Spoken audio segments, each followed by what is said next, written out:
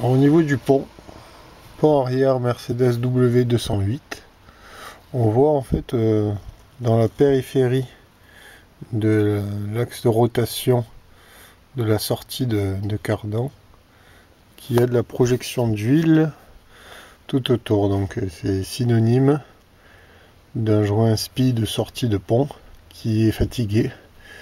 Donc on voit ce côté qui est, qui est humide alors que l'autre côté est complètement sec.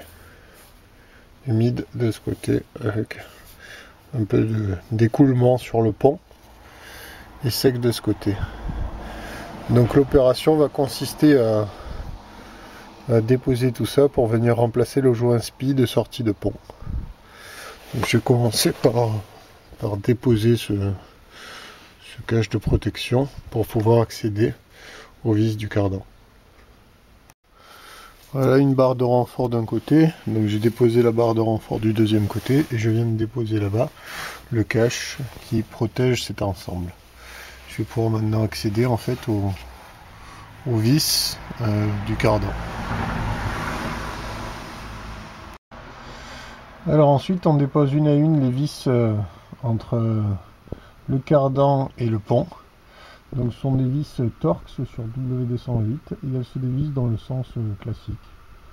Donc on dévisse dans le sens inverse des aiguilles d'une montre. C'est assez difficile à dévisser mais c'est parce qu'il y a du frein filé à l'intérieur. Donc euh, allez-y doucement, utilisez de préférence des clés plates à Torx. C'est quand même plus facile. Voilà, donc j'ai désaccouplé les deux cardans. Côté ici, le cardan est ici tenu par un fil de fer. J'ai désaccouplé le flector et j'ai désaccouplé le deuxième cardan ici en dévissant toutes les vis et j'ai attaché avec un fil de fer le deuxième cardan vers le haut. J'ai retiré la, la tôle de, de protection euh, qui protège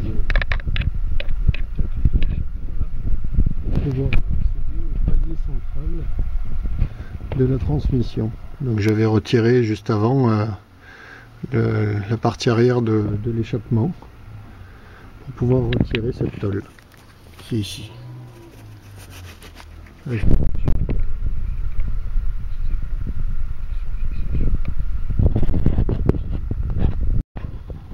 Voilà, je vais maintenant euh, desserrer les deux vis, donc ici et là pour pouvoir euh, libérer le, palier central de la transmission, pouvoir décaler la transmission vers l'avant et pouvoir ainsi libérer le, pont.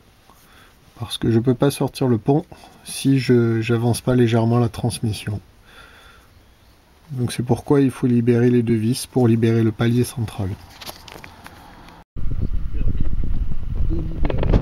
le ici à l'arrière.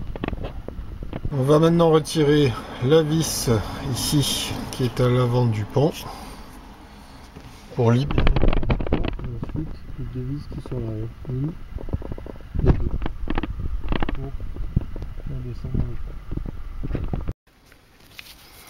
Voilà donc le, pont retiré.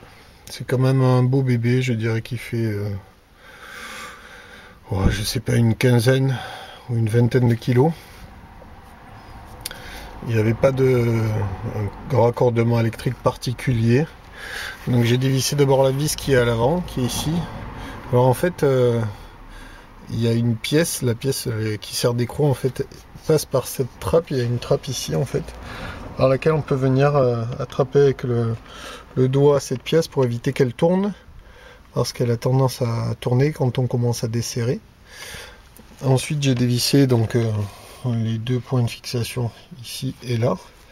J'ai soulagé le, cric, le pont avec euh, un cric Et une fois que j'avais dévissé les trois vis, j'ai légèrement, euh, avec une main, fait, j'ai guidé le, pont et euh, je l'ai accompagné pour, pour pas le faire tomber.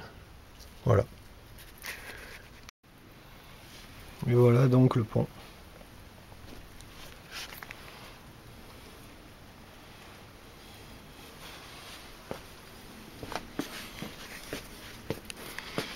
Donc on voit là, ici la, la trace de la perte d'huile par le joint qui est ici le joint spi.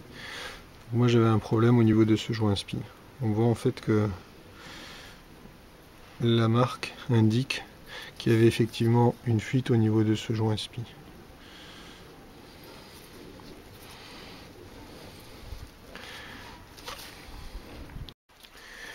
Alors, pour l'instant, en fait, comme le pont est étanche, j'avais pas encore vidangé le pont. Donc ce que je vais faire, je vais dévisser la vis de, purge et je vais euh, récupérer euh, l'huile de pont qui était assez récente. Donc je verrai ensuite si je la récupérerai, je la réutiliserai ou pas. En tout cas, je vais déjà la récupérer en vidangeant là le plus proprement possible. Et, euh, et ensuite, je vais ouvrir l'ensemble des vis de l'arrière du, du pont car pour désolidariser la bride de pont, il y a une bague d'arrêt qui se trouve à l'intérieur. Voilà, on a donc la vis de purge, l'entonnoir et de quoi récupérer de l'huile.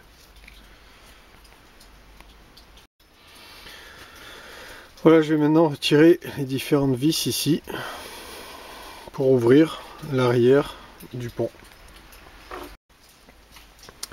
Voilà donc le carter du pont ouvert avec euh, les engrenages à l'intérieur. Donc en fait on voit le, la bride sur laquelle je voudrais changer le, joint spi. Et en fait cette bride est retenue, il a un arbre cannelé, et il est retenu à l'intérieur par un petit, un arrêt de bride qui est là, que je montre avec le bout du tournevis.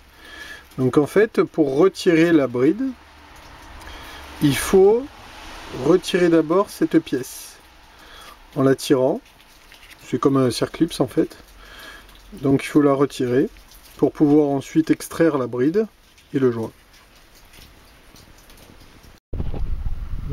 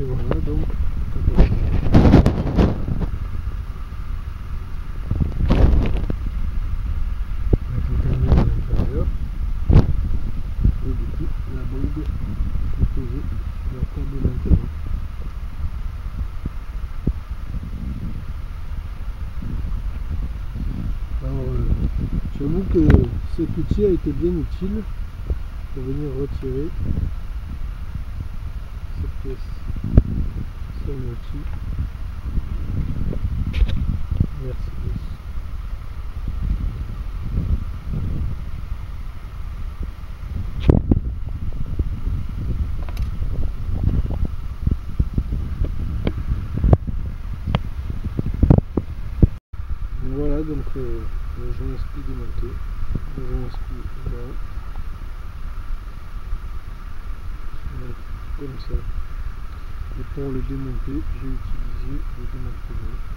J'ai intercalé dans la pompe, j'ai fait le blé comme ça, en mettant une cale ici. Va pas endommager cette partie, sachant que le, le, c'est pas grave s'il est endommagé.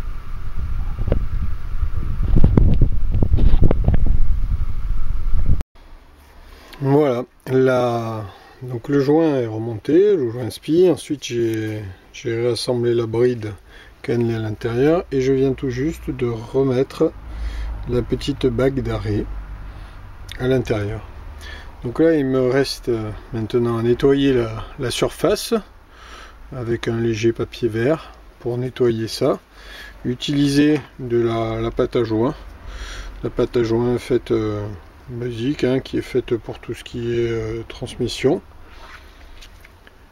et ensuite refermer le, couvercle du pont alors euh, pour remplir l'huile donc euh, là c'est l'orifice pour le remplir donc je, savais qu'il y avait 1,2 litre qui rentré dans le pont. Donc ce que j'ai fait, c'est que j'ai calé le pont de, niveau euh, en me servant de ça et d'un niveau. Et euh, j'ai rempli en fait par cet orifice à peu près 1,2 litre.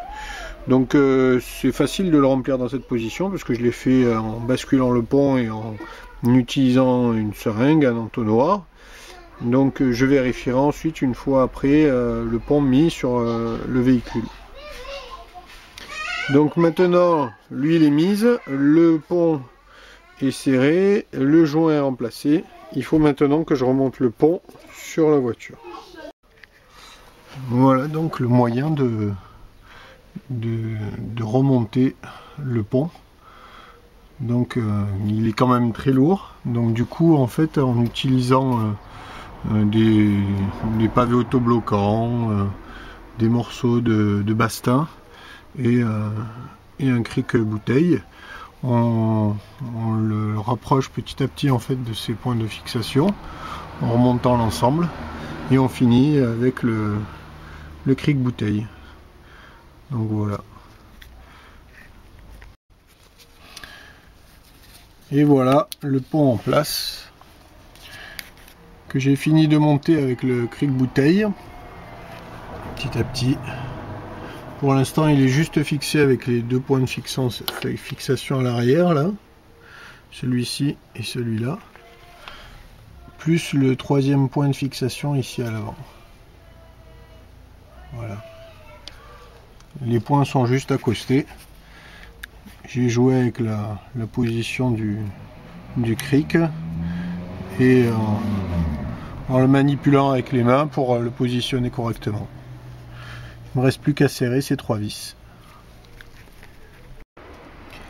Voilà donc dans l'ordre le pont remonté, les trois points de fixation serrés, ensuite le flector remonté, puis le palier central euh, refixé, faire ça bien après donc le flector. Il faut d'abord euh, positionner correctement le flector pour pas que le palier soit monté en contrainte. Et ensuite euh, remonter la tôle de protection thermique de l'échappement. Voilà. Prochaine étape, remonter les, les deux cardons de part et d'autre. Voilà, le pont est entièrement remonté et je viens donc d'assembler maintenant les cardans les cardans donc de chaque côté avec les vis indesserrables qui se serrent et se desserrent dans le sens classique hein. juste une bague en fait qui, permet de maintenir trois vis entre elles. Et de l'autre côté pareil. Je vais maintenant remonter l'échappement. Une fois que j'aurai remonté l'échappement je mettrai les barres de renfort euh, de cabriolet qui sont de part et d'autre. Et voilà l'échappement remonté, serré, et les deux barres pour raidir le, châssis réinstallé également avec le cache de tout le système de carburant. Voilà, c'est terminé. On va maintenant vérifier le niveau d'huile du pont en mettant la voiture bien de niveau. Et ensuite, c'est terminé.